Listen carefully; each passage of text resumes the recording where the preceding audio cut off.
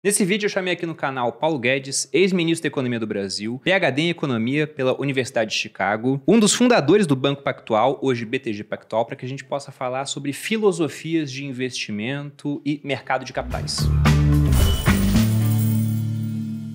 E aí, pessoal do Você Mais Rico, quem fala aqui é Bruno Perini, criador do canal. Estou recebendo dessa vez Paulo Guedes aqui. Paulo, muito obrigado pela presença. Tudo bem, Bruno Perini? Tudo jóia. É um prazer falar com você de novo. Gravamos o episódio para o podcast Sócio, foi muito bom. E agora aqui no canal. Excelente. Sempre bom falar com você também. E antes de dar início aqui ao nosso bate-papo, eu vou lembrar do seguinte: nos dias 8, 10, 12 e 15 de abril, nós teremos uma série de aulas gratuitas ministradas pelo Paulo Guedes sobre análise macroeconômica para tomada de decisão e investimento. E você vai ver aqui nesse vídeo né, o tanto de conhecimento que o Paulo tem a oferecer diretamente da fonte para tomar melhores decisões nesse cenário cada vez mais nebuloso que nós vivemos, muito por conta de crise geopolítica. Não perca as aulas, são gratuitas e para se inscrever e ter acesso, basta acessar o link que está aqui na descrição do vídeo ou um QR Code que deve aparecer na tela. Lembrando que após as aulas, a gente abre as inscrições para o MBA de Macroeconomia com Paulo Guedes. Agora, começando aqui, Paulo, antes de falar de filosofia, como é que foi a sua entrada no mercado de capitais? Porque o pessoal no Brasil te conhece muito por conta da participação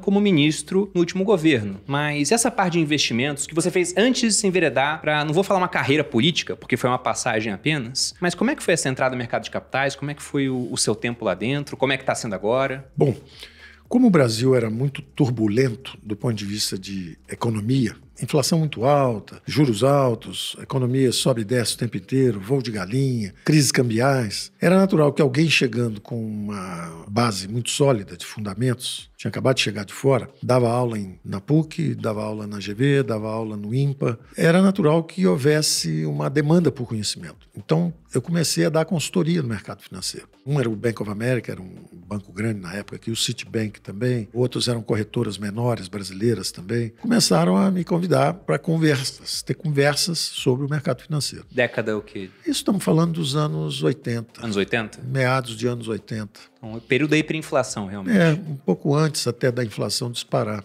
Estamos falando de 81, 82, 83, porque depois em 84, 85 ela foi a 200%, não é? E depois em 89 ela foi a 5 mil por cento. Então, como a década de 80 foi muito turbulenta, eu fui praticamente arrastado para o mercado financeiro. Minha especialidade era justamente macroeconomia, economia internacional. Então tinha política monetária, política fiscal, política cambial, tudo que afetava esse ambiente econômico, macroeconômico. Então eu comecei a dar uma palestra aqui, dar uma palestra lá, uma consultoria aqui, uma consultoria lá. Isso acabou me trazendo para o mercado sob forma de um convite para fundar um banco. Na época era uma DTVM, era uma distribuidora de títulos e valores, que foi o Pactual. Nós fundamos lá no final de 83, início de 84. Eu comecei então ali a minha carreira no mercado como Pactual era Paulo, André e César. Eram os três que estavam mais envolvidos na fundação do banco naquela época depois veio um quarto, e eu fui devagarzinho. No, no, início do Pactual, os primeiros dois anos, eu inclusive exigi que eu só iria à tarde no banco. Às manhãs eu continuava dando aula e estudando e fazendo meus modelos de previsão de inflação, os modelos com que eu trabalhava. Isso foi aceito pelos sócios todos. Depois, dois anos depois, eu então pedi uma área de renda fixa e aí passei a estar tempo integral no banco. E aí fiquei lá 17 anos responsável pela renda fixa, que era o principal centro de resultados do banco. Mais de 90% do lucro, 94% do lucro veio durante esses 17 anos que eu fiquei lá, vieram da área de renda fixa. Porque a renda fixa acabou puxando a área de câmbio também, quer dizer, muita coisa foi para lá. As aulas foram diminuindo até que eu abandonei. Ainda dei aula mais uns dois, três anos depois de fundar o banco. Na verdade, uns dois anos. E depois eu abandonei porque era incompatível. Realmente o mercado mercado absorve totalmente. Você tem que estar totalmente envolvido para fazer um desempenho de alta performance. Eu imagino que a renda fixa era muito mais relevante para o banco, porque como é que é investir em renda variável no Brasil? Sim. Você não tinha nem a, visão de como é que seria a inflação do próximo é, ano? É. Não, aliás, é, é, é, espetacular essa observação sua, porque é o seguinte: era coisa, digamos assim, é, menos viável possível, mas tinha 1.500 empresas abertas. Bem mais que hoje. Bem mais que hoje, três vezes mais do que hoje, né? num ambiente ambiente completamente hostil, avassalador. A empresa morria, estava listada em bolsa, tal, passava três, quatro anos e desaparecia, porque o ambiente era completamente instável e turbulento. Né? Agora, justamente a área de renda fixa era tinha uma penetração muito maior, porque o governo estava num modelo de endividamento em bola de neve. Então, o, o mercado aberto, as operações de mercado aberto tinham recém sido criadas no Brasil. Essa ideia de o governo vender títulos no mercado aberto, com leilões, etc., isso tinha sido implantado muito recentemente, coisa de quatro, cinco, seis anos só. Então, era tudo basicamente um jogo em cima e em torno de juros e inflação. Então, por exemplo, vou te dar exemplo. Os grandes ganhos eram feitos na hora assim. A inflação está subindo. Toma dinheiro pré e passa dinheiro pós. E quem prestava pré nessa época com essa inflação? Quem não tinha um economista bom para prever isso. Então, você toma, os, os, horizontes foram encurtando. Primeiro, os horizontes eram um ano, dois anos. À medida que a inflação saiu de 30 e foi subindo para 60, 100, 180, aí o horizonte caía para três meses, dois meses. Mas, de qualquer forma, você com um ano, você tomando dinheiro a 20%, a inflação vai para 60%, você passando dinheiro no overnight, tomando fixo um ano 20%. Aí vai passando a 20%, depois a 30%, depois a 40%, depois a 50%, depois a 60%, à medida que os juros iam subindo junto com a inflação. Então, é, o pré-pós, como a gente chama, né, tomava dinheiro pré e passava dinheiro pós. Aí, ao contrário, ah, o governo agora vai fazer um congelamento de preços. Quer dizer, você conhecia, sabia o que os economistas pensavam, sabiam que equivocadamente eles tentariam fazer um congelamento de preços. Aí você passava o dinheiro pré a 50%, 60%, 70%. De repente congelava os preços todos e o juro caía para 3%. Você passou o dinheiro a 60%, você vai se financiar a 3%, 4% durante aquele período. Então, no início eram esses pequenos descasamentos que eram feitos. Ao mesmo tempo, quando a inflação subia, subia o dólar também. Então, compra um pouquinho de dólar, faz um descasamento de pré-pós, vende bolsa, porque está subindo, o juro vai subir, a bolsa vai cair. Agora, congelaram os preços, os juros vão cair, a bolsa vai subir um pouquinho. Então, era um movimento, era, eu diria que era o high frequency trading. Era o trading, não era nem high frequency, porque high frequency hoje é intraday. Sim. Né? O herói da época era o George Soros, porque era o cara que especulava, que era o grande especulador, que investia contra a moeda. A Libra vai colapsar, vou quebrar o Banco da Inglaterra. Então, os heróis eram traders, mas ele era um trader, por exemplo, consistente. Na verdade, ele trabalhava com hipóteses robustas. Ele, ele se baseava lá no Karl Popper. É, ele foi aluno do Karl Popper. Sim, formule sua hipótese. Se o mercado estiver a seu favor, é porque sua hipótese está certa. Se estiver contra, dá o stop loss, sai porque a posição está errada e tal. Então, ele tinha alguma consistência. Ele era um cara interessante intelectualmente. Tanto depois ele desenvolveu teoria de reflexividade. Tudo coisa que faz sentido, não é? Porque se todos estão otimistas, os mercados sobem. E se os mercados sobem, eles ratificam aquele otimismo. Então, é verdade, mas também, para que isso aconteça, tem que ter algum fundamento. Testamento. Porque ninguém fica otimista por ficar, né? Tem que ter alguma coisa boa acontecendo. Mas isso explica uma boa parte dos movimentos excessivos, das bolhas, porque às vezes tem uma coisa boa acontecendo, mas você exagera naquela direção. Por isso é que tem esses grandes ciclos, por exemplo, Bitcoin, né? Ah, agora é a moeda do futuro, porque ela tem quantidade limitada. Aí parte todo mundo, todo mundo acredita naquilo, aquilo sobe. Aí depois você fala, pô, mas peraí, você consegue comprar um sanduíche? Vai ali no McDonald's e compra um sanduíche com Bitcoin. Então não é moeda. Então você está colecionando é quadro de Picasso, esperando que isso vire alguma coisa escassa no futuro. Aí quando cai a ficha, aí o negócio cai. Aí depois todo mundo, não, mas pensando bem, a crise fiscal agora está no mundo inteiro. Todos os governos estão abusando da moeda fiduciária. Será que nós não vamos ter que voltar para uma moeda supranacional e privada? Vamos embora, todo mundo compra Bitcoin de novo. Então, esses ciclos vão vão acontecendo. Né? E até eu quero discutir mais essa parte do Bitcoin, porque o pessoal da escola de Chicago geralmente, não, Milton Friedman, por exemplo, ele falava também essa questão da moeda fiduciária. Eu tenho vários comentários no meu bloco de notas do Milton Friedman falando sobre inflação, no final e aumento de oferta monetária. É. Mas antes disso, eu queria saber sobre a mudança do Brasil com o Plano Real, porque o Plano Real resolveu muita coisa, mas vários bancos que tinham essas receitas inflacionárias quebraram na época. Sim. Então esse modelo que ele serviu de tomar dinheiro pré para aplicar pós né? Ele mudou. Como é que foi essa mudança na época? Ah, interessante vocês? isso, porque o que, que acontece? Era a vantagem de ser uma pequena distribuidora. Você não tinha aquele capital instalado, esses bancos, na verdade, qual era a forma como eles coletavam o que a gente chama de imposto inflacionário? É que eles tinham depósitos à vista. Às vezes tinha na mesma esquina, tinha quatro agências do mesmo banco como é uma esquina muito movimentada, com muito trânsito, eles botavam quatro agências. Porque ali você captava o depósito à vista. Pagava zero no depósito à vista e aplicava aquilo, emprestava para o governo. Aquilo ali a 5%, 20%, 100% ao ano, dependendo da inflação. Quando ia para 200%, melhor ainda. Então, aquele a gente chama de branching, né? quer dizer, eram agências, agências, muito capital instalado. Quando acaba o imposto inflacionário, quem está excessivamente imobilizado tem um problema dramático. Como é que eu vou rentabilizar aquelas agências todas, aqueles milhares e centenas de milhares de funcionários? Como é que eu vou rentabilizar aquilo? Então, vários bancos começaram a quebrar. Aí o governo começou a fazer o PROER para estimular fusões de bancos, etc. Já o Pactual, ao contrário, o Pactual era uma DTVM levinha, uma agência pequenininha, quer dizer, uma sede, na verdade, fazendo pré-pós, especulação, dólar, bolsa, compra, vende, com tradings relativamente curtos e basicamente com fundamentos econômicos, vendo se o governo está fazendo um troço errado, haverá consequências. Então, vamos nos posicionar de acordo com para onde está indo esse vento. Isso foi muito efetivo e nos fez crescer muito rapidamente durante muito tempo. Aí, quando chega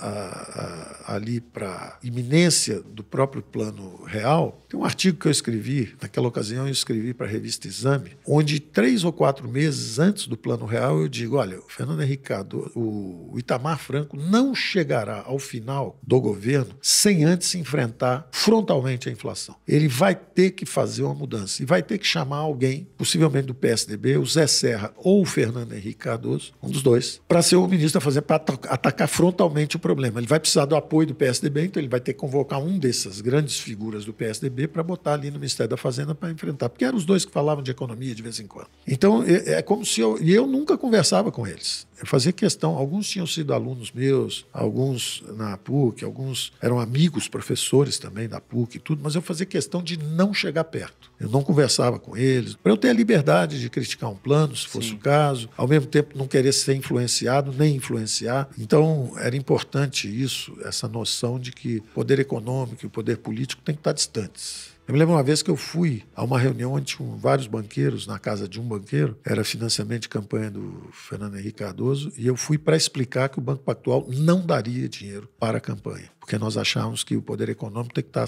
dissociado do poder político. Você der dinheiro para a política e depois a política pode te pedir favor, você também acha que tem algum favor a receber, isso não é saudável. Então, nós mantínhamos sempre a distância, o que foi muito bom, porque aí eu tinha que prever as coisas realmente baseado no desenvolvimento das próprias variáveis econômicas. A inflação está subindo muito, eles vão fazer alguma coisa, eles acreditam que é inércia, eles vão ter que quebrar a inércia, eles vão congelar os preços. E aí eles faziam isso e nós, então, ganhávamos antecipando os movimentos. Quando teve o plano Collor, a mesma coisa, houve um congelamento de ativos. Eu também achava que eles fariam isso e nós desintermediamos o sistema. Todo mundo foi congelado, nós não, porque nós emprestamos no interbancário, nós emprestamos para quem exportava. Nós é, fizemos intercompany, fizemos empréstimo para empresas que exportavam. Então, todo mundo ficou congelado no país, mas quem exportava conseguia pagar os empréstimos. Então, nós descongelamos os nossos recursos muito antes que todo mundo, pegamos os mercados todos embaixo ainda, conseguimos ganhar na volta da economia. Então, era isso. O Brasil era um realmente um acelerador de partículas. E tudo aquilo que você aprende, que ia levar 3, 4, 5 anos para acontecer, como você tinha quase uma hiperinflação, acontecia em três meses. Era muito rápido. Era muito rápido. Então, uma inflação para chegar na Suíça, ela leva cinco anos até todo mundo desconfiar que tem inflação na Suíça. No Brasil, levava três meses. E acontecia tudo que a teoria econômica dizia que ia acontecer. Então, foi fascinante, porque você até acreditava que os mercados eram eficientes e que os agentes econômicos eram muito racionais, porque acontecia em alta velocidade.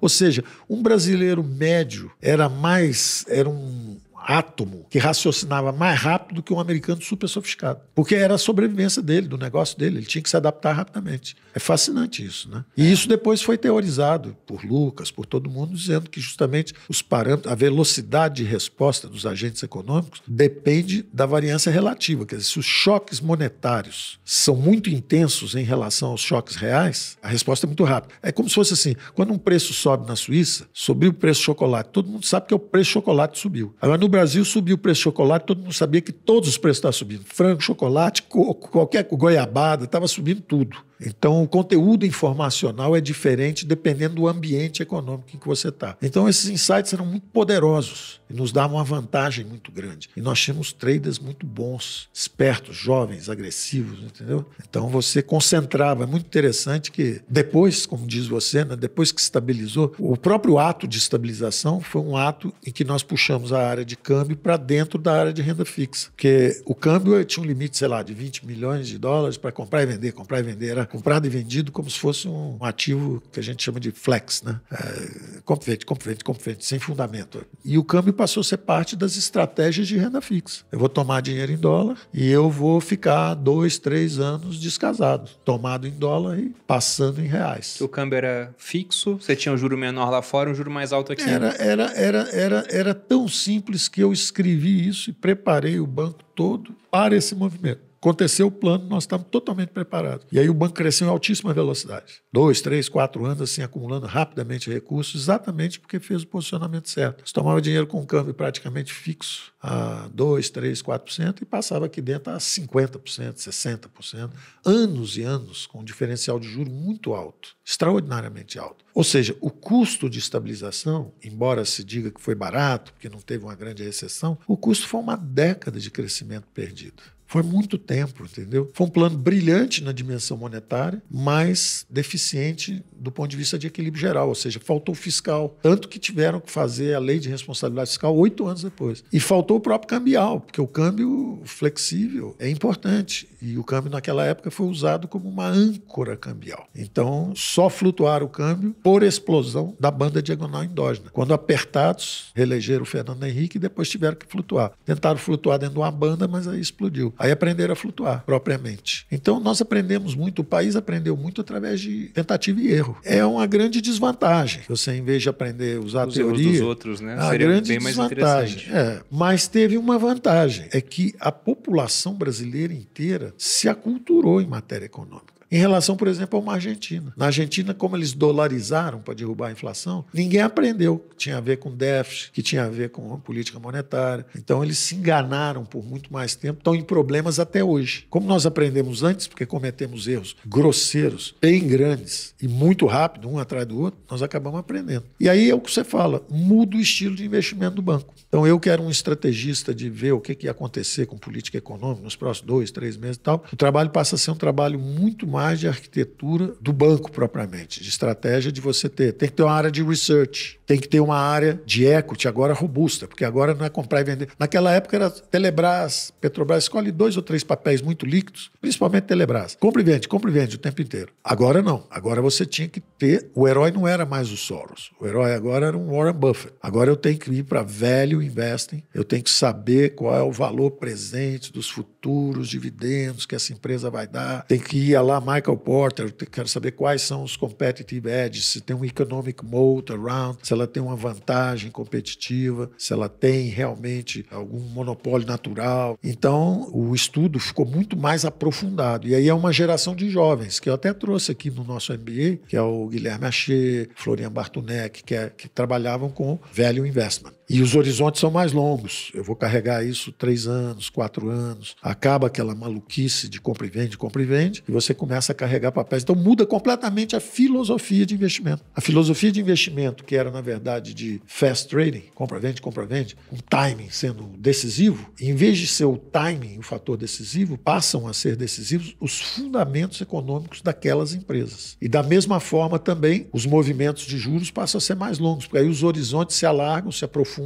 você passa a ter investimentos de dois anos, três anos, e aí você até pode fazer o pré-pós como fazia antes, mas com horizontes mais longos, volumes bem maiores, descasamento de moedas, agora eu tomo em dólar e passo em real, tomo em real e passo em dólar. Então os mercados vão ficando um pouco mais robustos, mas ainda não são o suficiente para você entrar no setor real. Aí vem uma terceira fase do mercado, é quando você começa a penetrar no setor real. Os ganhos a competição vai aumentando e os ganhos com as empresas existentes, como são só 300 empresas, 300 e poucas, competição é muito grande, acaba todo mundo tendo uma carteira muito parecida. Então, se você quer ganhar mais do que o mercado, você tem que originar novas companhias. E o bonito disso é que quando você tem poucos papéis e a riqueza do país aumenta, aquela massa de riqueza se abatendo sobre poucos papéis, se estiver tudo calmo, os papéis se valorizam hum, naturalmente. Os, os múltiplos, sobem bastante. Os múltiplos sobem. Quando os múltiplos sobem, aí começa uma divergência entre o que a gente chama como economista o replacement cost, ou seja, o custo de fazer uma fábrica nova, em relação ao valor da fábrica existente. A bolsa, na verdade, é a precificação dos ativos existentes. Ora, se estão pagando por uma empresa que faz aço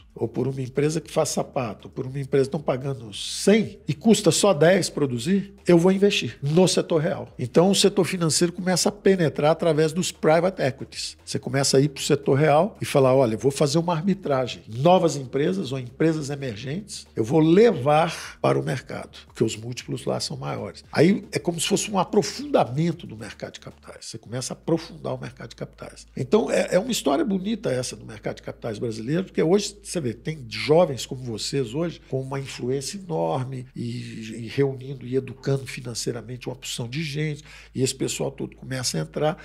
E cadê os veículos? Faltam os veículos. Onde é que estão os veículos? Cadê essas empresas? Onde estão essas empresas que merecem essa alocação de recursos que está chegando agora? E aí os private equities vão se desenvolvendo e cada vez mais especialistas. Então, você vê, a estratégia de investimento vai mudando de novo. O que era antes um grupo de traders juntos passa depois a ser um ensaio de alocação de investimentos, onde basicamente você tem, bota aí, se a pessoa é um pouco mais idosa, bota aí 70% em renda fixa e 30% de equity. E que equities? Bota o pessoal de velho investment aí para colocar os recursos nesses, nessas empresas aí, descobrir as melhores. Se o cara é mais jovem? Bom, o cara é mais jovem pode botar 60%, 70% de equity e bota só 30% de renda fixa nele aí. Ah, mas agora está tendo um combate à inflação, o juro subiu um pouco, então aumenta um pouco a alocação de renda fixa. Olha, agora o juro está caindo, pode reduzir renda fixa e aumentar um pouco a alocação de equity. Mas é um negócio ainda primário. Aí, de repente, começa a se aprofundar, entrar no setor real com os private equities, e aí começa a variedade de veículos. Aí alguns se apresentam como eu sou um hedge fund manager, eu, eu, opero todos os mercados. Na verdade, geralmente são especialistas de um setor que ganharam muito dinheiro e aí começam a transbordar em busca de outras atividades. Então o cara era bom de renda fixa, ele na verdade deveria continuar sendo o melhor de renda fixa do país, mas ele prefere se aventurar. Como o dinheiro começa a entrar, é, aí ele começa a contratar uma é grande, equipe, né? a tentação é grande. Ele ainda é bom em renda fixa, mas já começa a aventurar em outros ativos vou fazer equity também, aí vou fazer lá fora também, vou fazer no mundo inteiro e vou fazer isso. Os resultados não são assim tão bons. Eles começam a cair em relação ao resultado excepcional que esse cara tinha quando ele estava especializado no que ele faz. Se ele continuasse como o rei da renda fixa, ele estava hoje o maior, ele estava três vezes maior do que o tamanho que ele tem hoje. É porque ele teria sido realmente o dominante. Isso aconteceu muito lá fora. Tinha os fundos que eram os reis da renda fixa, aí tinha os outros que eram os reis dos equities, os outros. Lá fora a especialização foi mais profunda. Aqui a tentação arrastou. O sujeito que era bom de equity acabou mexendo também, comprando e vendendo a renda fixa. Ele monta equipes, mas como ele não domina aquilo, ele acaba tendo os auxiliares dele que não são tão bons quanto ele foi naquele campo que ele dominava. Então há uma tendência à média. Acaba todo mundo parecido. Uma opção de gente tropeçando. Um ganha num e perde no outro, o outro ganha no outro e perde no um. E acaba dando um resultado mais ou menos mediano todo mundo. Acabam aqueles grandes campeões que tinham um retorno extraordinário em relação a todo mundo. Mas o mercado cada vez mais sofisticado e cada vez mais acreditando. Isso é muito interessante também, porque se você perguntasse para um Warren Buffett, ele ia dizer assim: não tem negócio de mercado eficiente, não. Eficiente sou eu. Eu sou bom. Eu compro melhor porque eu sei avaliar. E ele até zomba das escolas de finanças tradicionais. Ele fala: pô, esse pessoal acredita em mercado eficiente, deixa eles acreditando nisso. Mercado eficiente, o preço está em equilíbrio, né? Deixa eles achar que está em equilíbrio. Eu estou comprando esse papel aqui porque eles estão achando que está em equilíbrio e está baratíssimo altíssimo, porque eu conheço fundamentos e eles não. Ele olha com esse ângulo, porque ele, ele é bom na análise de balanço da, da, do setor. Posso pegar. Um, um, gancho disso, Paulo? Sim, sim. Porque essa questão de mercados eficientes é sempre um grande debate no mundo sim, dos investimentos. Sim, sim, sim. Você citou o Buffett. Se a gente pega a performance do Buffett, ela é quase o dobro do S&P 500 em termos históricos. Só que também é nítido que a performance dele lá atrás era muito melhor do que hoje. Sim, claro, claro. Porque lá claro, atrás claro. havia muito menos informação, menos claro, participantes. Hoje, para ele conseguir ganhar do S&P é mais perfeito. difícil. E eu queria aproveitar também que você em Chicago conheceu o Gene Fama, Sim. que é o sim. cara que criou essa teoria dos Sim, mercados extraordinário, extraordinário. Como o Robert Lucas ganhou o prêmio Nobel com Efficient, com Rational Expectations, expectativas racionais. O Fama ganhou também o prêmio Nobel com Mercados Eficientes. Esses caras são extraordinários. Eles são cientistas, como se fosse a física clássica. Como se fosse assim, olha, sem atrito,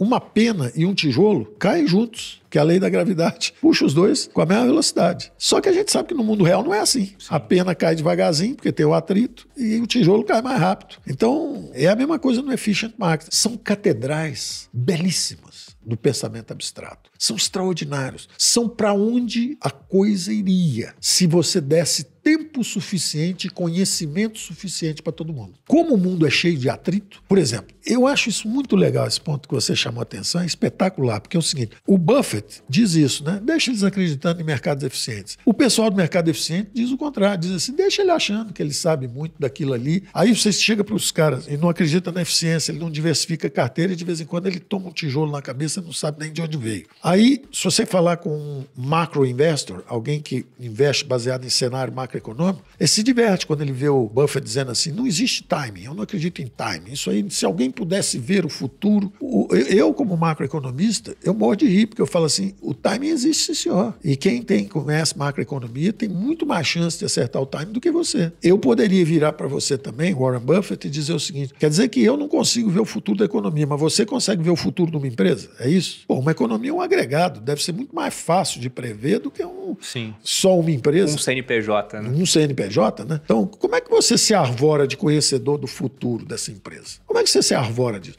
A beleza disso é que todo mundo tem razão. Quando homens inteligentes discutem, é melhor você prestar atenção. Quem olha de um ângulo diz o seguinte: olha, eu tô vendo uma terra plana e o sol se pondo. Eu sou um grego. Parabéns. É isso mesmo. Pode usar essa hipótese, trabalho para você. Você está navegando no Mediterrâneo. Aí vira o outro e fala assim: ó, eu tô vendo uma terra redonda e, na verdade, nós estamos girando em torno do Sol. Não tem esse negócio do Sol levantou e eu sou uma terra plana. Parabéns para você. Bem-vindo à fase da física clássica do Newton. Copérnico, Kepler. Parabéns, você está certo também. Então, dependendo do seu ângulo de visão, se você tem uma grande vantagem competitiva em análise de balanço, o seu guru devia ser mesmo o Buffett. Porque use esse talento seu, porque você tem uma certeza. Você é muito melhor que os outros nisto. Não pense em time, que vai te atrapalhar. Não pense em macroeconomia, que vai te atrapalhar. Se concentre nisso, que é o que você conhece. Agora, você virar para um economista e falar assim: olha, se você realmente é um bom economista e vê os ciclos econômicos, se concentre nisso. Não perca seu tempo tentando escolher qual é o melhor papel, não, porque você não foi preparado para isso. E a beleza da hipótese de efficient markets é, que o seguinte, é que todas essas informações se combinam nos preços, fazendo com que no final toda a informação disponível está embutida ali e os mercados tendam à eficiência. Só que até chegar nesse ponto, já teve outro choque, já perturbou tudo outra vez, depois outro choque, já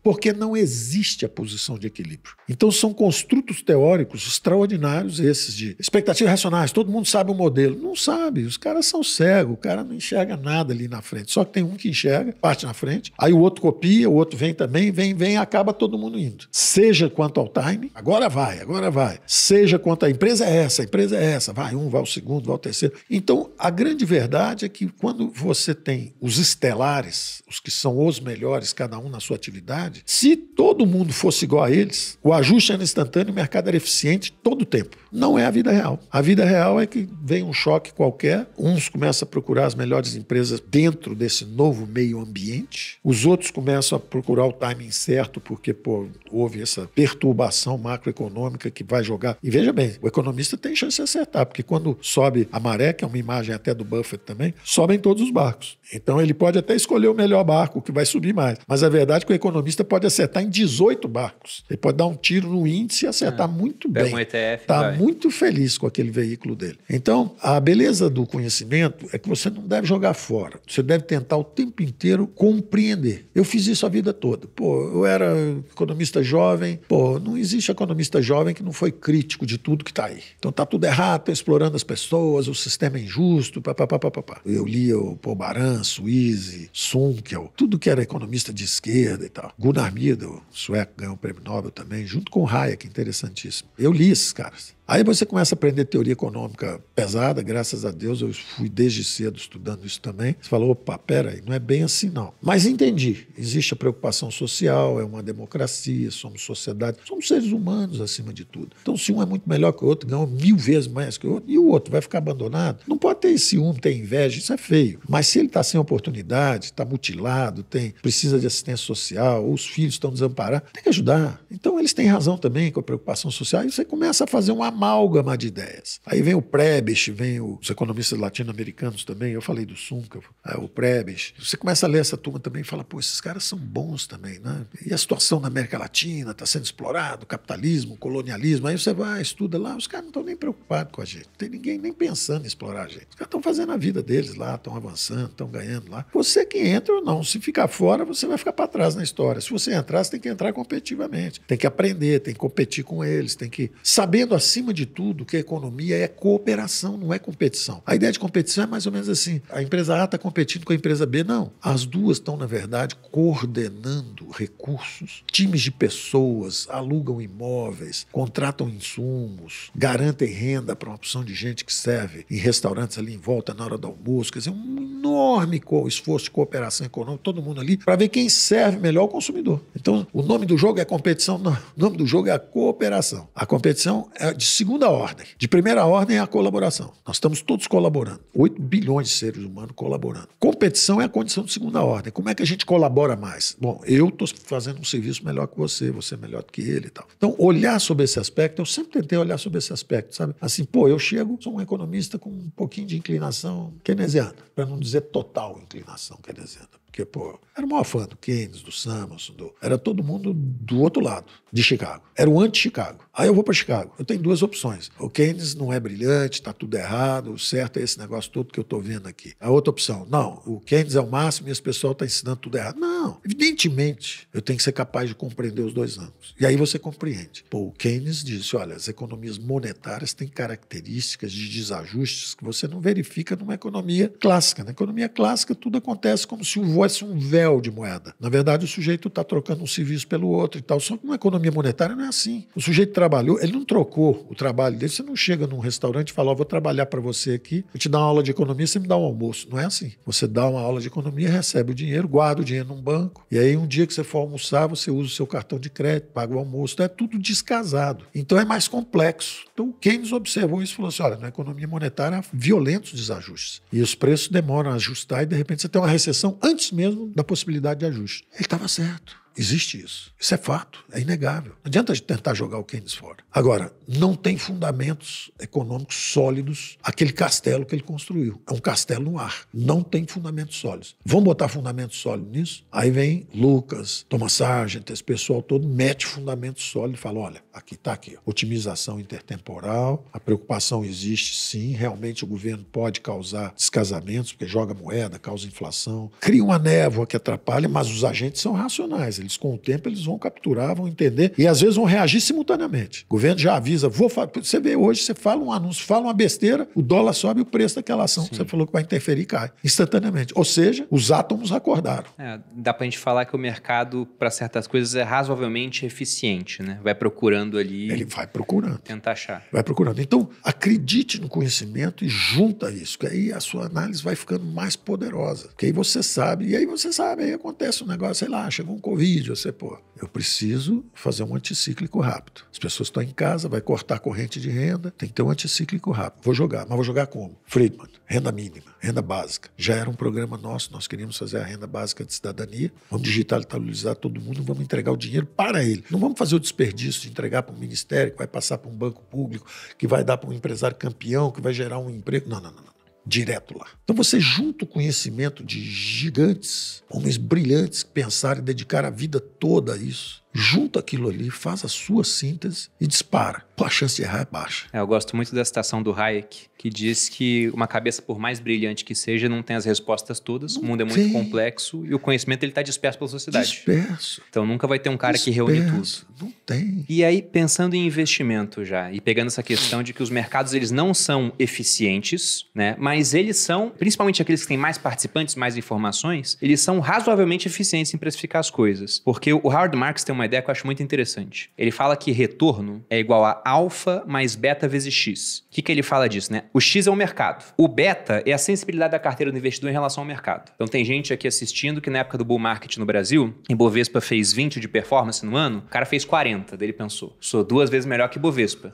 Só que quando veio uma crise, Ibovespa fez menos 10, ele fez menos 20. É então ele só descobriu que era duas vezes mais volátil. É isso mesmo. O retorno mesmo descorrelacionado, que é o alfa do Howard Marks, vem de diferentes áreas, né? Sim. E aí ele é um cara que ele defende muito investimento em mercados ineficientes, com menos gente prestando atenção, com menos informação. Um exemplo de mercado ineficiente, imóveis. A minha irmã faz leilão de imóvel. Certo. Tem leilão que é, é ela sozinha. Eu falo, Sim. isso é o máximo de ineficiência que Sim. existe. É só você para precificar aquilo. Sim, sim, perfeitamente. Perfeitamente. Se perguntasse, vem cá, vocês queriam ter feito a Pactual nos Estados Unidos, em Nova York, no ano que vocês fundaram aqui no Brasil? Não daria certo não, igual aqui, né? não, não, claro que não. É aqui. E onde estão os Entendeu? mercados ineficientes hoje, na sua Em opinião? toda parte. Os mais ineficientes, assim. Muito maiores do que os eficientes. É mesmo? É, essa profundidade é imensa. A profundidade é imensa, porque está tudo acontecendo o tempo inteiro, com choques, com tudo. Então você vê, os mercados, justamente quando eles estão populares e que todo mundo entra e tal, é porque normalmente eles estão na fase já da estabilização, do retorno praticamente normal. É. Porque eh,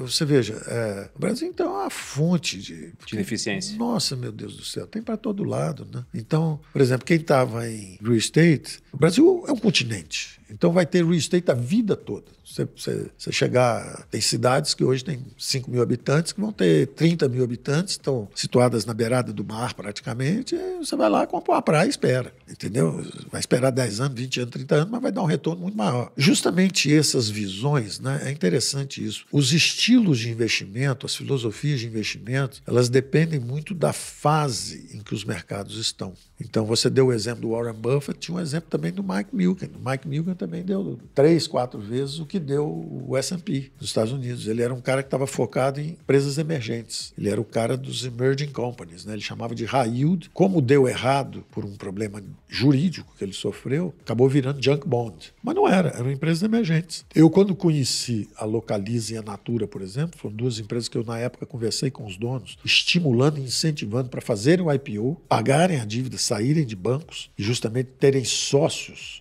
que cuidassem da dimensão financeira na época, eram empresas pequenas, médias. Talvez não chegasse à média, fossem pequenas. E viraram empresas Colossos. extraordinárias, muito bem geridas, né? por muito tempo. Né? Então, o estilo de investimento, o jeito que é fundamentalista numa turbulência imensa, ele se perde. O jeito que é fast trader, compra e vende, compra e vende, num mercado que está em tendência e vai subir 10 anos, está mal. Mesmo o velho investor que faz relative value, sei lá, um Bill Ackman, que é um cara craque lá fora. O mercado vai subir 10, 15 anos, feito subiu. Pô, ele faz long and short, ele faz relative value, porque ele é bom de valuation e de eventos. Ele fala, pô, essa aqui vai fazer uma fusão com aquela, essa aqui vai fazer isso. Então eu fico long nessa, short naquela. O mercado é tendência de alta, ele ganha 100 no que está subindo, perde 80 no que está. Ele vendeu essa, mas ela sobe também. Mesmo uma empresa que está com problemas, num mercado de alta forte, de tendência, ela sobe. Ela só sobe menos que as outras. Ou às vezes sobe mais, né? Você pega uma queda de juros para uma empresa muito endividada, ou isso. Aliás, é um fenômeno agora que está acontecendo. Se você perguntar assim, qual é um fenômeno interessantíssimo no Brasil hoje? Eu chamo de fallen angels, eu, chamo- eu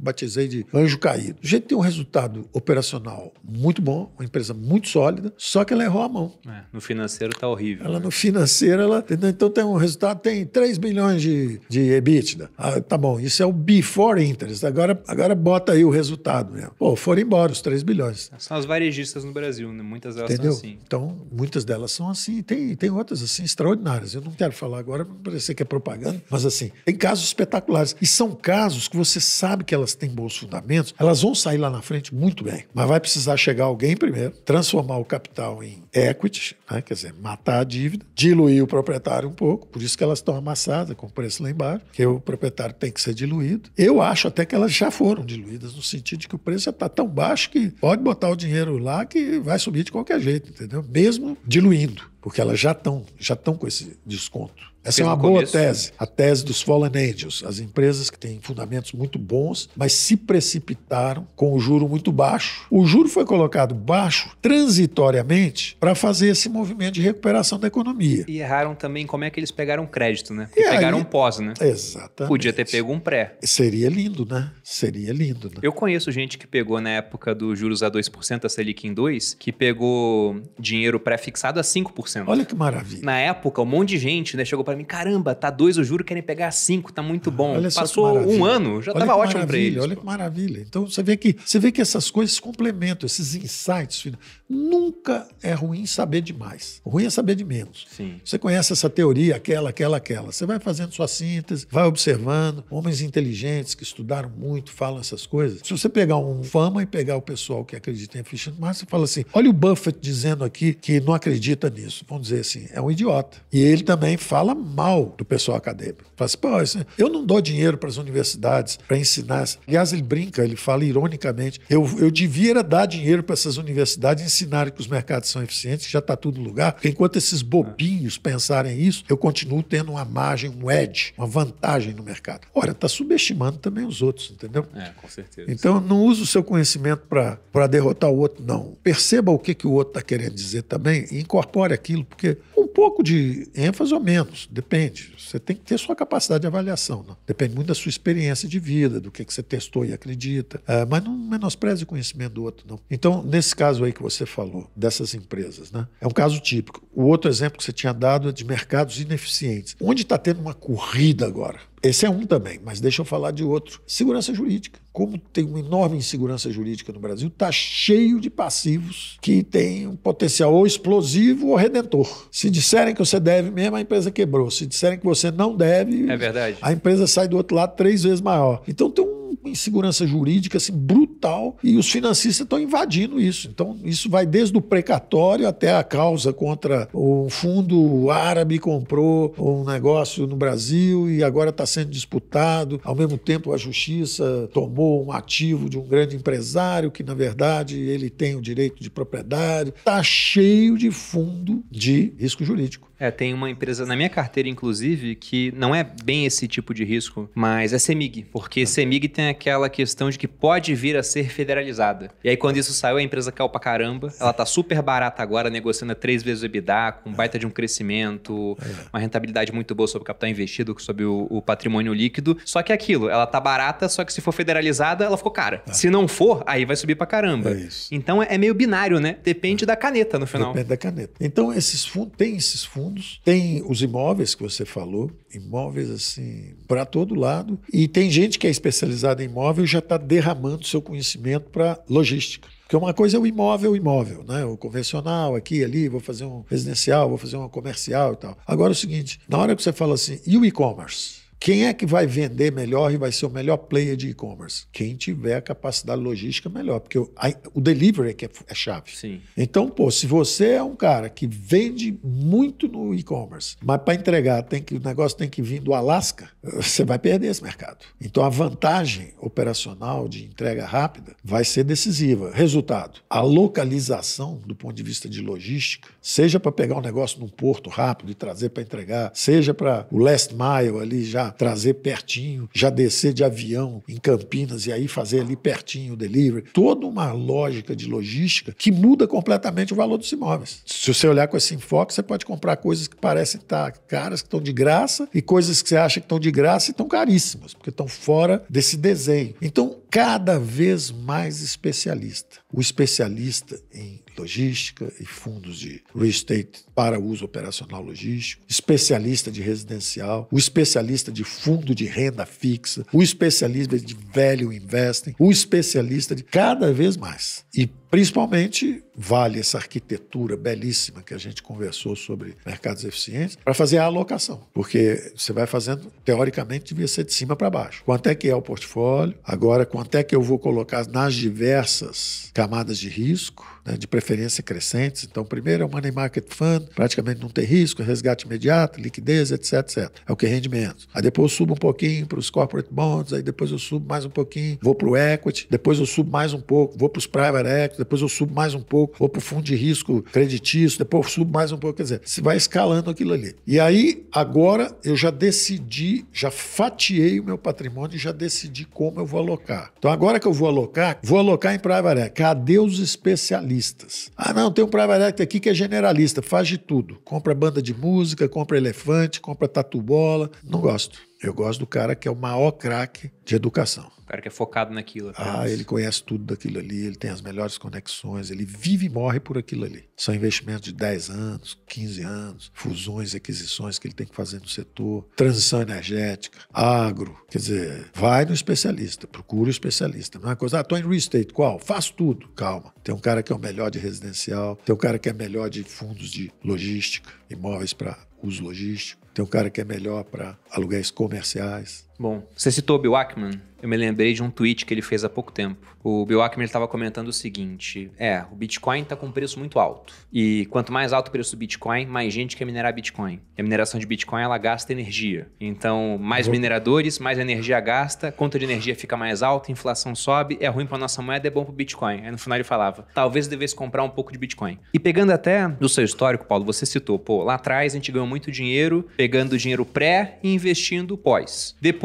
a gente pegou dinheiro lá fora câmbio fixo, juro baixo lá fora para pegar a dívida, juro alto aqui para investir. E tem um cara que nesse momento está fazendo mais ou menos isso, que é o Michael Saylor, o CEO da MicroStrategy. É uma empresa listada em Nova York, ela é uma empresa de software, só que tem um tempo que ele está fazendo só o seguinte, ele pega a dívida em dólar e como ele está listado no mercado, ele tem acesso à dívida por um custo mais baixo e está comprando Bitcoin. É um dos maiores detentores de Bitcoin do mundo. Gosta de viver perigosamente. Gosta. Ou ele vai ser um dos homens mais ricos, é. ou vai ser um dos caras mais viver quebrados. perigosamente. Porque o que, que acontece? Essa é uma conversa super interessante que é a seguinte: o Bitcoin tem uma grande virtude que é justamente limitação da oferta. Isso é uma grande virtude, porque isso diz o seguinte: olha, se a demanda aumentar no tempo, o preço tem que subir, porque a oferta está relativamente limitada. Isso é bom, isso é uma virtude que as moedas fiduciárias não têm. Na hora que nós mudamos o regime do padrão ouro para as moedas fiduciárias, nós cortamos essa limitação. É. E de lá para cá, você tem as economias fiduciárias viraram experimentos extraordinários, a humanidade enriqueceu, foi tudo bem, só não contaram o final. A gente não sabe o final. Sim.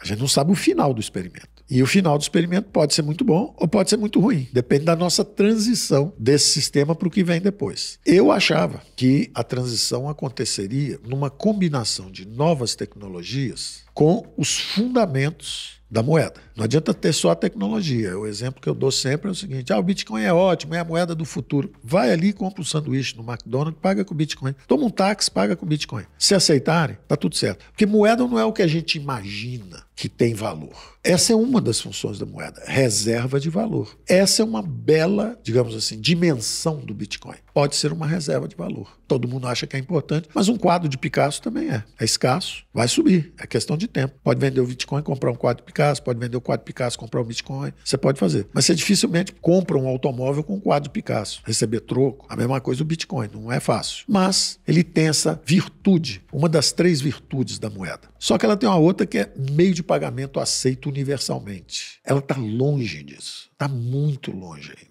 Mas está muito longe. Então eu achava o seguinte: que unidade de conta é, se não é meio de pagamento, ninguém vai fazer conta com ninguém aquilo. Ninguém vai fazer conta com aquilo, entendeu? Como é que eu vou fazer hoje? Vou poupar num banco, vou deixar 18 bitcoins. Como é que eu vou? Quanto é que custa esse, essa torre de iluminação que nós estamos usando, esse microfone? 18 bitcoins, 20 bitcoins, entendeu? Não dá. Não é unidade de conta, não é meio de pagamento aceito. Então ela está muito distante. Só que ela tem uma qualidade, o blockchain embaixo dela, garantindo. Então é o que eu sempre imaginava. O futuro é uma combinação de nova tecnologia com a respeitabilidade e a confiabilidade dos governos. Então, qual é o futuro? Para mim era óbvio. É o Central Bank Digital Currency. Ou seja, é uma moeda digital, como é o Bitcoin, só que ela está com o blockchain embaixo. Você tem todo o histórico, todas as transações, quer dizer, não dá para falsificar. O próprio governo, se for criar, ele tem que avisar: estou aqui no counterfeiting, estou aqui falsificando moeda, estou criando um troço aqui. Então, eu achava que ia ser uma combinação assim. Passei alguns tempo pensando nisso. Só que aí surge esse risco geopolítico agora. Começa essa confusão no mundo. Eu acho que não vai escalar, porque eu estou vendo que quem faz a confusão são os perdedores da ordem antiga. Porque teve uma ordem, que foi essa Pax americana, que durou aí 60, 70 anos. Nunca tanta gente saiu da miséria. Foi extraordinário. 4 bilhões de eurasianos saíram da miséria. No pós-guerra, os americanos reconstruíram primeiro a Alemanha, depois o Japão, que eram os dois inimigos, seguindo Keynes. Que o Keynes falou: pô, não adianta você tentar pedir reparações para um povo que foi destruído. Ele até Isso vai causar um uma outra guerra. guerra. falando disso. Né? Isso vai causar uma outra guerra. E causou uma outra guerra. Sim. Embora essa outra guerra tenha sido causada também pela luta contra o comunismo, porque tinha a Internacional Socialista dizendo trabalhadores do mundo inteiro, univos, univos, univos. Aí veio o Nacional Socialismo, dizendo o seguinte: trabalhadores alemães, empresários alemães, governantes alemães, políticos alemães, vamos nos unir contra a Internacional Socialista. Então foi uma guerra um pouco mais complexa, com mais dimensões do que parece. Mas de qualquer forma, no pós-guerra é reconstruída a Alemanha, é reconstruído o Japão. E viram as três maiores economias do mundo: Estados Unidos, Alemanha e Japão. Logo depois, Reino Unido, que também tinha vencido a guerra junto com os americanos. E depois eles encostam na China. A China do Mao Tse Tung estava no chão, mas o Deng Xiaoping se acerta com Kissinger e o Nixon e eles começam a inclusão, a integração da China ao sistema econômico capitalista global. E aí você tem o maior período de crescimento sincronizado que a humanidade já viu. Todo mundo crescendo 60, 70 anos no final. Foi extraordinário. Aí, de repente, quem são os perdedores? Primeiro grande perdedor, a União Soviética. Ela colapsou e virou a Rússia. Só que a Rússia tem uma história, uma civilização longa, ela tem que ser respeitada. E ela se achou desrespeitada quando os europeus, em vez de a convidarem para se juntar ao? NATO, NATO né? Ah. North Atlantic Treaty, que é o pacto bélico, né? Estamos juntos, não vamos guerrear nunca, etc. Deixaram ela de fora e começaram a incluir países dentro da zona do euro e chegando cada vez mais perto dela. E todo mundo com base militar, base militar, base militar. Ela fala, pô, vocês estão me acuando aqui. É. Aí ela, de repente, inaceitavelmente, porque é desumano no século XXI você fazer guerra, é um absurdo. É até, digamos assim, uma desconsideração a essa longa civilização russa. Como é que faz um negócio desse depois de já ter vivido toda a tragédia do comunismo, aquela confusão, sistema político fechado, execução em massa, fome, miséria? Aí, de repente, quando ela emerge, esse desentendimento acaba virando uma guerra com a Ucrânia. Muito ruim. Posso pegar um adendo nisso? Isso. Só para dar opinião, que eu tô lendo um livro agora chamado é do Tim Marshall. Ele fala sobre geografia, prisioneiros da geografia. Sim. Eu sei. E no livro, eu acabei de ler a parte sobre a Rússia. Ah. E ele tem uma visão muito interessante. Ele escreveu antes dessa invasão, mas já tinha a guerra entre Rússia e Ucrânia por conta da Crimeia. Sim. E ele fala que se o Putin, hoje, ele olha para o mapa e desconsidera as linhas dos estados-nação, ele vê exatamente o mesmo mapa do Ivan o Terrível, com os mesmos problemas. Os portos vão congelar no inverno, exceto o porto de água quente que ele tem no Mar Negro, que Vladivostok congela, o Ártico congela, o Mar do Norte tem estreitos dominados por países membros da OTAN. Até o Mar Negro tem, né? A Turquia é membro da OTAN também. E que a planície europeia continua sendo plana. E ele fala, esse é um problema dos russos desde sempre, porque você pega da Polônia, começa uma planície, que depois ela se alarga e toda a entrada da Rússia é plana. Então é muito difícil de defender. Então, não é que ele defende o Putin, mas ele fala, olha, talvez, se não fosse o Putin, fosse um outro cara, o desfecho poderia ser muito parecido. Porque quando você começa a aproximar aquela zona de influência É, que era é, da é, Rússia é, é do Ocidente, É né? Começa a criar essa tensão. mas é isso, exatamente isso. É uma insegurança que se transforma numa potencial bomba global. Sim.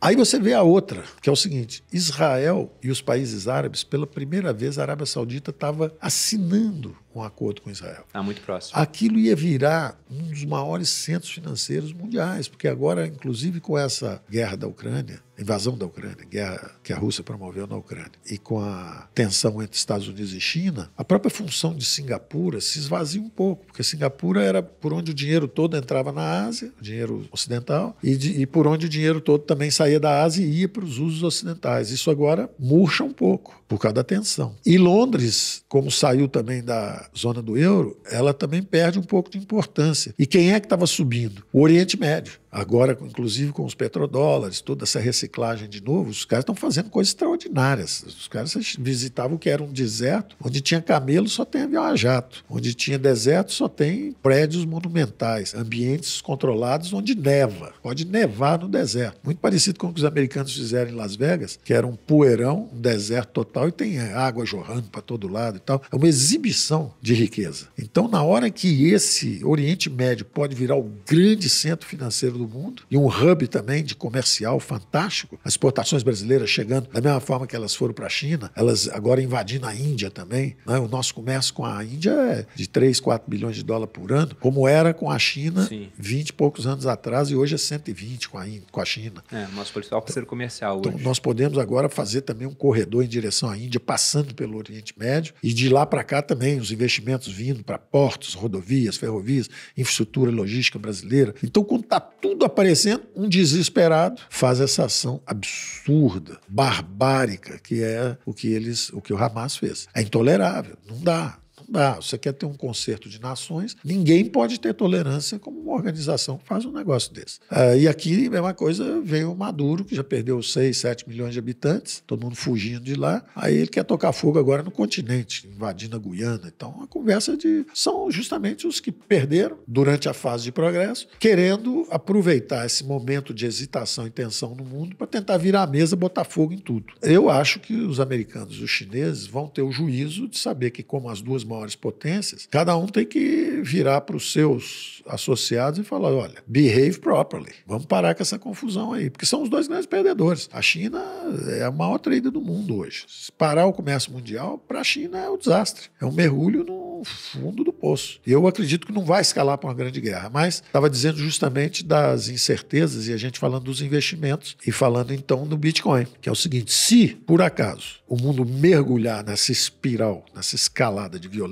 uma das dimensões em que a guerra vai acontecer é a dimensão cibernética. De repente vai acordar todo mundo e cadê seu saldo no banco? Não tem. Então, parte do pacote que faz o hedge contra um ataque a uma moeda fiduciária vai ser o Bitcoin. Então, os bancos centrais estão comprando loucamente ouro e os privados estão fazendo a corrida ao Bitcoin. Então, por razões que não são as que pensaram originalmente, isso pode até ser uma espécie de reserva de valor. É. Eu, eu, concordo, porque essa parte de moeda, eu conheço muita gente que é muito mais entusiasta do que eu nessa ideia. E eu falo justamente o contrário. Eu falo, cara, para que, que eu vou comprar um carro em Bitcoin? Supondo que alguém aceite me vender um carro em Bitcoin aqui no Brasil. Se eu posso pagar em real, que é programado para ter uma inflação, a meta do Banco Central for cumprida é 3%. Guarda o Bitcoin. Né? Isso é a lei de Gresham. Exatamente, lei de Gresham. Então, para que, que eu vou gastar boa, moeda boa se eu posso gastar moeda ruim? A moeda boa elimina a moeda. Então, justamente por isso, é um negócio que tende a ser entesourado. É. E eu li há pouco tempo um livro chamado Padrão fiduciário, é de um economista chamado Seifedin Amos, que ele é, adora criptomoedas. Ele estava falando sobre o padrão fiduciário, por que, que ele substituiu o padrão ouro, e ele advoga a favor de uma questão de vendabilidade espacial. Ele fala o seguinte: o ouro tem uma vendabilidade temporal muito boa, porque passam milhares de anos, o ouro tem valor. Se eu volto para o passado com ouro, eu consigo trocar por comida, por roupa, por abrigo. Verdade. Ele fala que na moeda fiduciária a gente tem uma vendabilidade temporal ruim, porque ela perde valor. Qual vai ser o valor de 50 reais? reais daqui a 30 anos. Muito, Muito baixo. pouco, provavelmente. Muito né? baixo se não foi inexistente, vai muito que a gente troca de moeda de novo. Sim. Já a vendabilidade espacial é muito boa da moeda fiduciária, porque eu posso mandar dinheiro para um cara que está no Acre com um Pix. Com um Pix. Exato. Perfeito. Ou posso fazer uma transação internacional para um cara que está no Japão também, de uma maneira mais, mais tranquila. Com ouro, eu teria que mandar ouro até o Japão para esse cara, mas, o custo mas disso. querem tokenizar o ouro para você poder fazer isso com o ouro. É esse o ponto que ele fala do Bitcoin. Ele é fala isso. que ele une essa vendabilidade espacial boa é. da moeda fiduciária com a vendabilidade temporal boa do ouro. Então, uma das coisas que ele defende, esse cara não enxerga o Bitcoin sendo usado como moeda no dia a dia. Ah. Ele fala que não é visão Mas que dele. ele será, na verdade, o, o lastro. Pode da ser um moeda, lastro. Da moeda supranacional. É interessante porque o Ele enxerga como, por exemplo, Paulo, no seguinte: a Rússia ela não pode mais transacionar em dólar direito, ah. por causa das sanções. Ah. A Rússia tem que pagar por insumos que ela está comprando de um outro país, e o país não quer receber em rublo. Ele fala: ó, você pode me pagar em ouro, mas como é que chega esse ouro lá? Só se for tokenizado. Descentralizado. Ou você tem Bitcoin aí, você pode me pagar em Bitcoin. Porque a transação em Bitcoin, se eu te mando 100 reais em Bitcoin ou um bilhão em Bitcoin, a taxa é a mesma. Ela é baixa para um bilhão e ela pode ser meio alta para os 100 reais. Daria hoje, sei lá, uma taxa de uns 20 reais para fazer isso. É muito, muito para 100 reais. Mas para um bilhão não é nada. Perfeito. Então ele vê o Bitcoin como alguma coisa que países podem passar a usar para fazer comércio internacional. A grande verdade é que a tecnologia e os usos e costumes então, tem tecnologia, mas às vezes não tem os usos e costumes. Mas quando esses dois convergem, aí é incontornável a solução. Então, por exemplo, se chegar a esse ponto de todo mundo ter capacidade de, usando o iPhone, fazer Pix para cá, para lá, é, baseado numa moeda que tem um lastro, que é supranacional, que é essa vendabilidade no tempo e no espaço, e é supranacional, ou seja, não pode ser, digamos assim, destruída pelos abusos que os governantes têm demonstrado sucessivamente fazer contra a moeda fiduciária, acabou o obstáculo que o Keynes via contra as moedas, porque, contra o ouro, porque o Keynes falava assim, o ouro é uma relíquia bárbara, porque, afinal de contas, quem é que vai carregar isso para um lado, para o outro? Temos aqui um negócio fiduciário e tal, tal, tal, tal. Você fala, bom, mas por que, que o ouro estava aí tão recentemente? Cadê a grande depressão na fase que o ouro era o padrão ouro? Não tinha. Porque o cara, o banco quebrou, quebrou, todo mundo perdeu tudo e acabou. Agora, com a moeda fiduciária, não pode deixar o banco quebrar, tem que garantir os depositantes, tem que fazer isso, fazer aquilo. Aí, de repente, aí o governo entra, aí, aí prorroga aquele negócio, em vez de deixar ter uma perda de capital, garante o Federal Deposit Insurance Corporation garante os, os, os mais frágeis. Agora, cara super rico, o banco quebrou, você tem que. Quer dizer que se ele comprou uma debênture de uma empresa e a empresa quebrou, ele perde tudo. Agora, se ele tiver no banco, ele não perde nada. É. Que absurdo é esse? Que assimetria é essa? O Silicon Valley Bank, quando quebrou, resgataram todo mundo você Estados tá entendendo? Então, essas coisas acabam levando a população ao uso e costume. Vai chegar um dia que o pessoal vai falar: olha, eu vou usar isso mesmo e eu não quero mais saber da moeda local. Aí o governo perdeu a senhoragem. Você vê, o Milley chegou quase a fazer isso agora.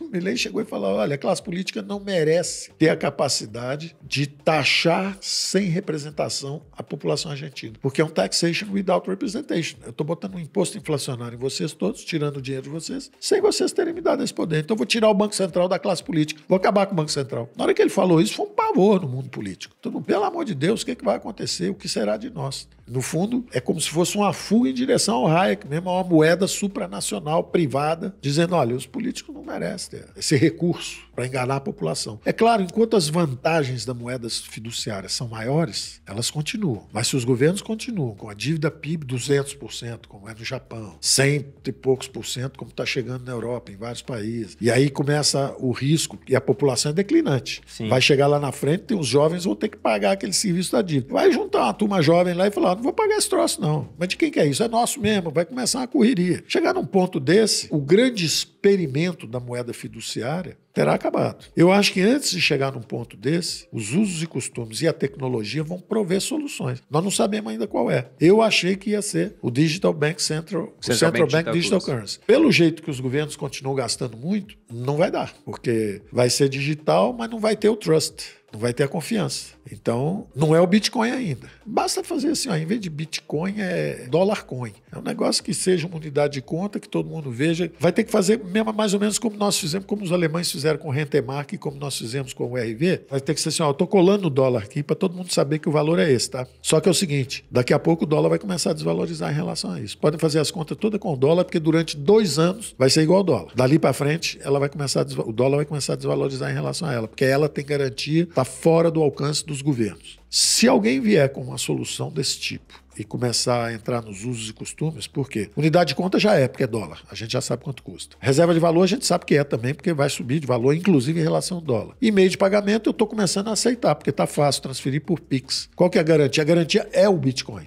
está do lado de lá. Ah, então vamos fazer? Vamos, vamos, vamos. Se isso pegar, mudou radicalmente, mas de uma forma positiva, porque o povo vai aderindo aos poucos. Igual está acontecendo com o Bitcoin, vai aderindo aos poucos, aderindo aos poucos. Quando perceberem, já virou aquele negócio, já virou uma moeda supranacional. E pode ser uma solução muito boa. Né? Só a tecnologia e o tempo e os usos e costumes é que vão nos levar. Mas eu acredito que a tecnologia vai fazer isso, vai nos dar a condição de track, de saber de onde veio esse dinheiro. Porque com blockchain você sabe de onde veio, qual é a transação, está tudo registrado. Aí, entendeu? A malandragem, contrabando, esse troço todo vai diminuindo. Vamos ver. Mas é um, por enquanto é um distante ponto de interrogação. Bom, Para fazer a última pergunta aqui, e antes disso eu lembro o pessoal que está assistindo que nós teremos quatro aulas ministradas pelo Paulo Guedes sobre isso. Análise macroeconômica para tomada de decisão no mundo dos investimentos. Vai ser mais conteúdo. pé no chão, né? Porque hoje nós fomos alto. Fomos alto. Nós ficamos Vai ser mais prático metros. ali. Tem que ser mais prático. Perfeito. Então, quem quiser se inscrever, é gratuito. Vocês podem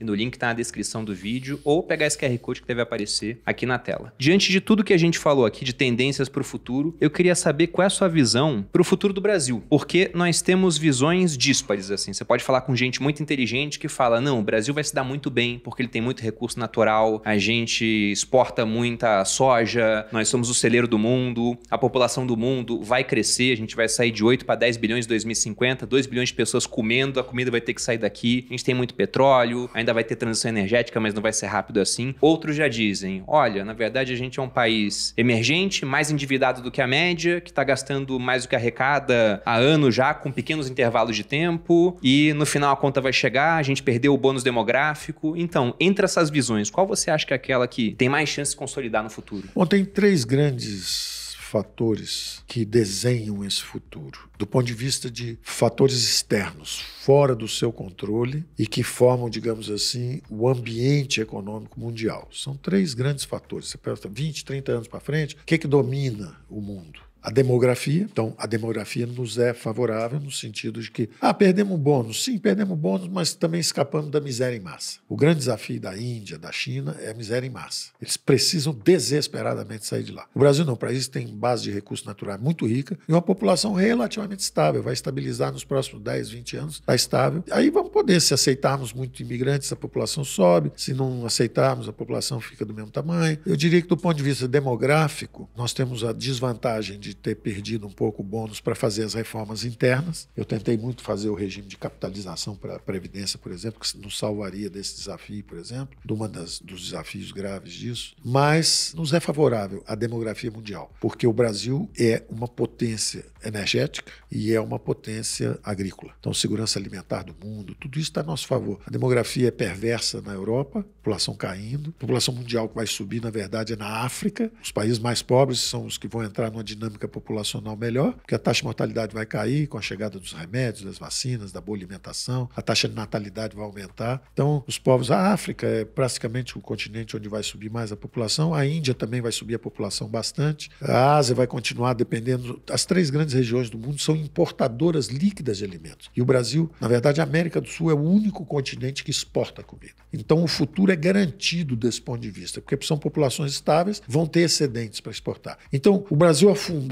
é impensável. O Brasil não vai afundar. Não existe uma tragédia no futuro do Brasil. Nós podemos nos automutilar bastante, nos atrapalhar bastante, como temos feito. Políticas inadequadas, com guerras infindáveis para tomada de poder político, quando, na verdade, a política com P maiúsculo é servir a população, não é ver quem tem mais poder, quem prende o outro, quem ferra o outro. Isso é uma política que não é construtiva. Aliás, está nos prejudicando muito lá fora, porque no momento em que está todo mundo brigando, o Brasil que tem uma tradição justamente não briga com ninguém, não tem guerra com ninguém, é uma população é, generosa, é uma população gentil, é uma população miscigenada de verdade, aqui se misturaram todas as correntes migratórias. Então, nós éramos para ser um exemplo para o mundo. Olha só como nós temos uma matriz energética limpa, como nós somos um povo civilizado, ordeiro, gentil e com reservas extraordinárias do ponto de vista de energia limpa, como vocês gostariam de ser. Daqui a 30 anos, talvez vocês sejam como o Brasil é do ponto de vista de energia limpa. E do ponto de vista de alimentação. Então, à medida que a população pobre no mundo melhora, seja na África, seja na Índia, esse povo todo tem que comer mais, tem que comer melhor e esse povo todo vai procurar comida e o Brasil está ali. Da mesma forma, toda essa nova indústria, seja na transição energética e seja na economia digital, que é muito intensiva em energia, como disse o seu amigo lá, falou: olha, esse povo todo vai ter que consumir energia, data center, tudo isso. Cadê a energia? Quem vai produzir essa energia barato? O Brasil. Tem energia renovável para fazer os data centers do mundo inteiro, se precisar. Então, nós somos alguém que vai ter sucesso. A pergunta é quando é que nós vamos querer tomar juízo? Quando é que nós vamos querer seguir o básico, seguir a ciência? Se fala tanto em ciência. Existem as ciências econômicas. E os brasileiros, alguns políticos brasileiros, alguns economistas brasileiros, não são economistas de verdade, né? Se fossem economistas, seguiriam a ciência econômica. Insistem em fazer novidades, em criar novidades que não não, funciona. O Brasil está há 30, 40 anos seguindo nesse caminho de que é o governo é que tem que ser o driver do crescimento, o governo é que vai fazer. São 30 ou 40 anos que um continente todo perdeu a esperança. É a América do Sul. A América do Sul foi tomada, é como se fosse assim: o que os europeus tinham vivido tinha dado errado lá, o que na Rússia, na China deu errado. Os brasileiros, argentinos, chilenos precisaram viver. Vivemos já éramos para ter aprendido que esses algoritmos de cooperação social, como os mercados, tudo isso, se você criar um bom ambiente de negócio, vem dinheiro do mundo inteiro. E quanto mais dinheiro vier, a lei de economia é muito básica. Um país onde tem muita gente e pouco capital, por exemplo, Índia no passado, China no passado e Brasil, o salário é muito baixo. Um país onde tem pouca gente e muito capital, o fator escasso é a mão de obra, os salários são altos. Educação é capital humano. Então, investir em educação, investir em capital humano, ter uma população educada, tem uma população trabalhando, é um negócio extraordinário. Em vez de uma população envolvida em guerra política, guerra política, sendo mobilizada para o seu próprio infortúnio, que é o que aconteceu na América Latina inteira. Quer dizer, a renda per capita desabou na Venezuela, desabou na Argentina. Hoje tem 40% da população na miséria. O país era riquíssimo. Era a terceira ou quarta maior renda per capita do mundo 100 anos atrás. É tão simples ver onde é que está o erro, mas a ideologia impede. O problema da ideologia é isso, é que ela rasga a ciência, joga fora a ciência e destrói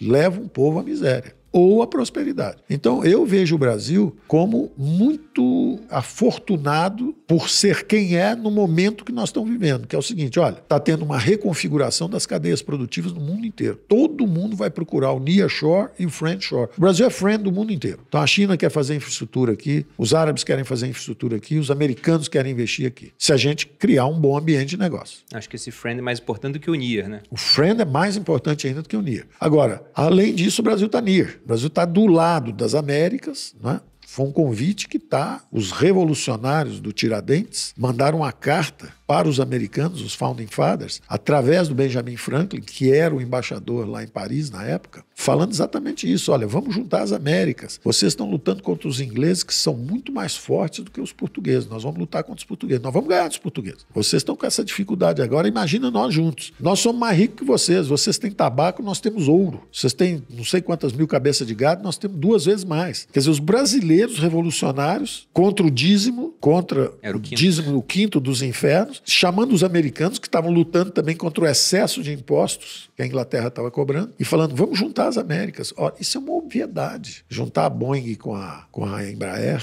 era uma obviedade. Um Banco do Brasil com o Bank of America, não um banco da costa leste, mas um banco da costa oeste, que é bom de real estate, bom de crédito agrícola, tudo isso. Era um ganho extraordinário para todos nós, quer dizer, empresas transnacionais, fazer uma infraestrutura na América Latina inteira. Nós botamos um presidente no BID e um presidente no Banco dos BRICS, justamente justamente para fazer uma infraestrutura na América Latina inteira. O Brasil escoar a produção do Centro-Oeste através de uma transperuana. Você encurta em sete dias, em vez de você ter que ir até o sul, Porto Santos, dar a volta no Estreito Magalhães para chegar na China, você já atravessa na transperuana e já sai do lado de lá. Encurta em sete dias a ida para a China. Ah, ao mesmo tempo, entrar na OCDE, porque isso exige a competição de cabotagem. E aí o aço, que hoje é feito no sul com o minério de ferro que sai de Minas Gerais, vai no sul, vira aço, chega lá em cima, 40% mais caro do que o minério que foi para a China e chega lá em cima, por causa do custo de cabotagem. Então, entrar na OCDE forçaria competição na cabotagem. Então, tem coisas assim extraordinárias que nós podemos fazer que em 5, 10 anos mudam completamente o panorama do país. Eu não vejo o Brasil na tragédia. Eu vejo o Brasil na mediocridade, que é o que tem sido a história dos últimos 20, 30 anos, ou no caminho da prosperidade, que é um caminho muito claro, mas tem que ser percorrido em todas as dimensões. Acordos comerciais na dimensão externa, simplificações tributárias, melhoria dos marcos regulatórios para trazer os investimentos, redução de impostos sobre empresas. O mundo, durante 40 anos, o mundo subiu o imposto de renda sobre pessoa física e reduziu sobre as empresas. O Brasil fez exatamente o contrário. Subiu das empresas e levou os super ricos a pagarem zero sobre imposto de renda de pessoa física. É um absurdo. Então nós fizemos coisas absurdas por muito tempo. Por isso que o Brasil é prisioneiro dessa armadilha de baixo crescimento. Então você fala, o que você vê para o futuro? Eu vejo um bom futuro.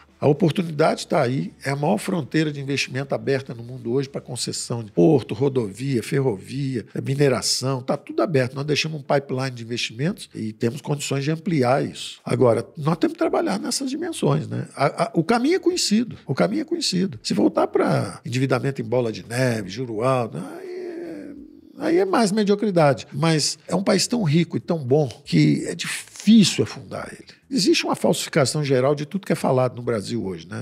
gráficos, usam tudo do jeito diferente e tal. Quando nós, em 2020, enfrentando o Covid, gastamos 10% do PIB, eu falei, pessoal, logo no começo de 2021, foi uma conversa que eu tive com o Grupo Rico. Foi, eu tava lá. Você estava lá. E eu vi o que o pessoal tá fazendo. Você viu o que eu falei. Porque a gente o que eu disse é o seguinte: nós estamos gastando tanto dinheiro que nós temos que travar esse processo, retomar. as- Foi quando nós lançamos, no início de 21, foi quando nós fizemos o Banco Central Independente, que está ajudando a travar. Foi quando nós fizemos, logo depois, nós fizemos privatização de Eletrobras, fizemos desinvestimentos, fizemos uma série de reformas que ajudaram muito a impedir. E o que eu estava dizendo era justamente o seguinte, pessoal: se a gente continuar na gastança que tinha antes, superimpondo a esse gasto enorme com o negócio da saúde, em seis meses vira Argentina. A inflação da Argentina era 50%. A nossa era 4 ou 5. A nossa foi para 10, a deles foi para 200. Eu falei, olha, vira Argentina, no sentido que a inflação vai subir muito mais. Aí Venezuela, seis meses. Aí eu ainda virei e falei assim, vem cá, tem muita gente vendo isso ou somos só nós conversando? Muita gente. Falei, então peraí, não são seis meses, não. Leva bem mais tempo. Leva dois, três, quatro anos para chegar lá. Mas eu lembro a pergunta que a gente fez, porque a gente pegou esse enfoque no gasto da pandemia, Isso. que foi lá aquele déficit brutal, com mais juros da Isso. dívida, deu quase um trilhão.